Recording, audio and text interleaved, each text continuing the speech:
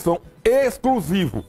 Câmeras de segurança flagraram a ação de um homem furtando lá no bairro do Bessa. Ao vivo, Águia, boa noite, é com você, Águia, aqui na tela.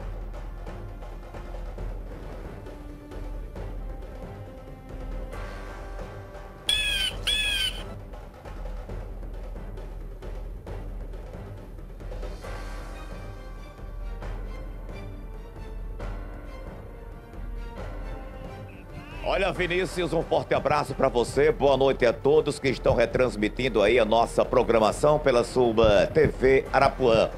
Eu estou aqui no Peça, na rua Francisco de Assis, Câmara Chagas. Olha só, essa rua aqui é uma rua bastante movimentada, como vocês agora bem estão vendo.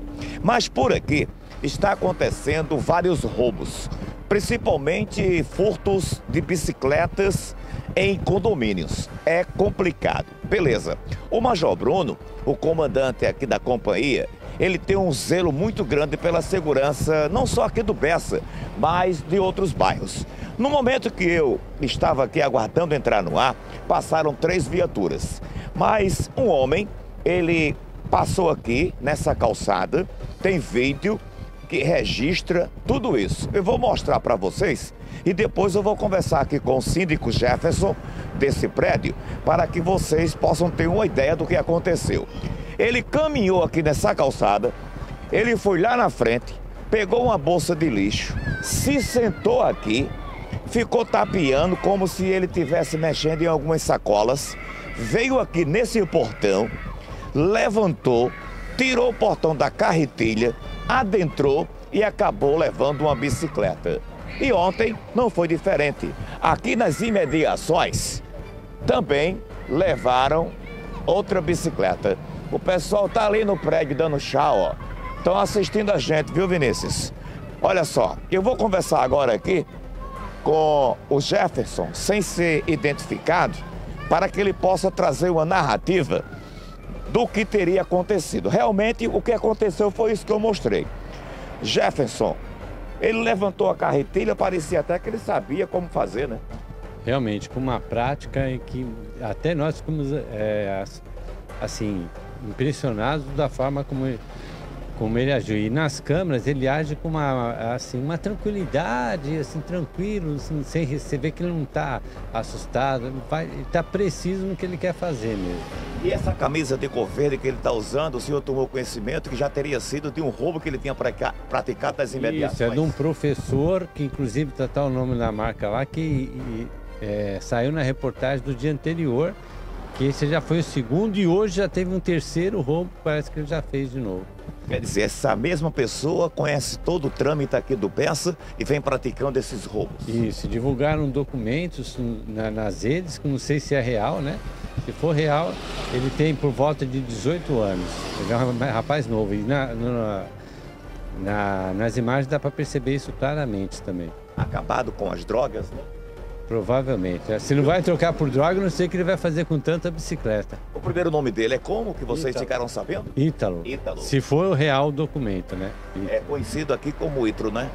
Não, não aqui, tá no documento. Ah, no documento dele? Documento, tá no documento. E tá, é, pelas pesquisas, parece que ele mora na, no bairro São José. No bairro São José? Isso. Então o pessoal tá pesquisando isso. Então vocês estão clamando aí que a, as viaturas da Polícia Militar, aqui da CIA, passem com mais frequência. Né? Eu, eu estava aqui, eu visualizei algumas viaturas, mas não é tão preciso, às vezes, a viatura está sempre naquele ponto onde vai acontecer o fato. Mas vamos reforçar para ver se realmente outras viaturas possam passar por aqui com mais frequência, né? E a importância seria mais à noite, porque ele está atacando sempre no período da noite.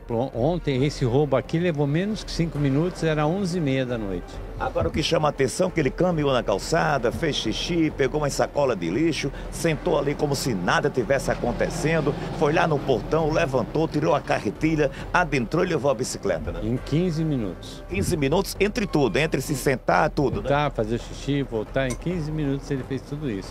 Bom, eu conversei aqui com o Jefferson, ele que é, é, é, síndico também aqui com a esposa dele, a dona Socorro, e trouxe aí essas informações para você que está em casa acompanhando aí a nossa programação. Carinhosamente, eu reforço aqui ao comandante da companhia, o Major Bruno, que ele coloque sempre mais viaturas na parte da noite, né? Para que possa trazer aí mais segurança. Não que não tenha, mas que reforce, porque eu sei que o Major Bruno, ele tem um cuidado muito grande com a segurança aqui das imediações. Vinícius eu volto aos estúdios do Rota da Notícia.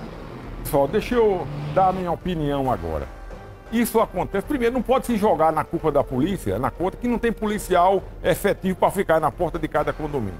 Isso primeiro acontece. Eu vou dizer por quê. Porque muitos condomínios tiraram o homem, a figura do vigilante, do porteiro, para trocar por equipamento eletrônico. O equipamento eletrônico é para auxiliar o homem não é para substituir o homem. Olha aí, com certeza não gravou a imagem?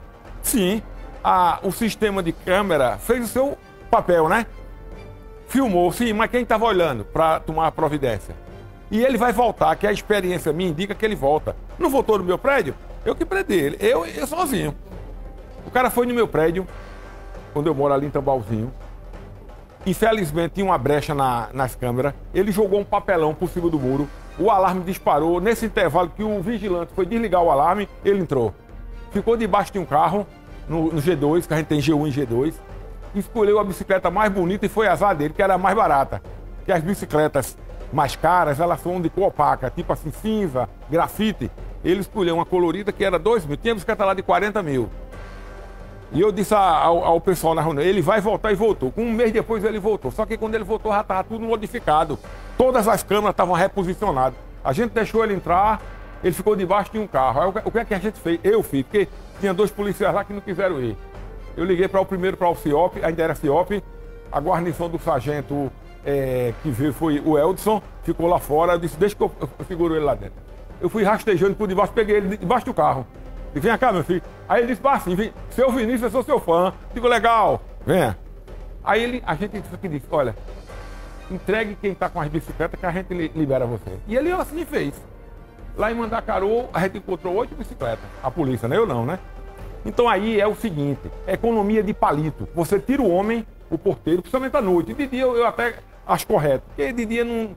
Isso é mais à noite, a partir de 18 horas. Aí tira o homem para economizar merreca, coloca câmeras, olha aí o que acontece. Ele vai voltar porque achou fácil. Olha, achou fácil, não teve dificuldade, tirou o trilho, acabou. Caramba, uma bicicleta tem, tem bicicleta de 50, 60 mil reais. Que é de quem pedala mesmo, né? E ele vai voltar. Pô, olha, isso é outro. Olha só. Isso, se não danificar um carro. Imagina se ele quebra um retrovisor desse em um carro desse. 10, 15 mil reais. Um retrovisor desse carro. É tudo eletrônico hoje. Ela saiu tranquilamente, sorrindo. Esse hoje. Ontem e hoje. E vai voltar hoje de novo. E não, e não podemos culpar a polícia, não. Não tem efetivo para isso. Olha só, anda tranquilamente. Não, mas as imagens estão gravadas, estão, mas não resolve, né? Resolveu o quê? Pessoal, atenção, hein? Mais uma